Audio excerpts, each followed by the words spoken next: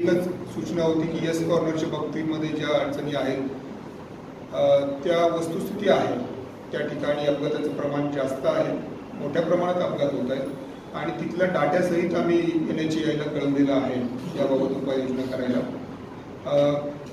आज सकाळीच माझी स्वतः आर टी ओची बैठक झाली. आर टी ओ माझ्याकडे आलेले होते आणि अपघाताच्या डाटाचं विश्लेषण केलेलं आहे. गेल्या वर्षीच्या प्रमाणामध्ये. यावर्षी अपघातांमध्ये वाढ झालेली आहे आणि येस कॉर्नर त्यामध्ये बऱ्याच घटनांना कारणीभूत ठरत आहे. याकरता मी आपल्या वाहतूक सुरक्षा समितीच्या मेंबर्सना पण विनंती करतो की आपण सगळ्यांनी पण त्यातून उपाय शोधायचा आहे. त्यामध्ये जेवढे सुधारणा करता येतील तेवढे आपण करूया. येस कॉर्नरला पटकन आपण काहीतरी सुधारणा करू शकू आणि सगळं तिथलं वातावरण बदलून जाईल असं वस्तुस्थिती दिसत नाही. आपण थोडे थोडे थोडे सुधारणा करूया आणि ते अपघाताचं प्रमाण कमी करण्यासाठी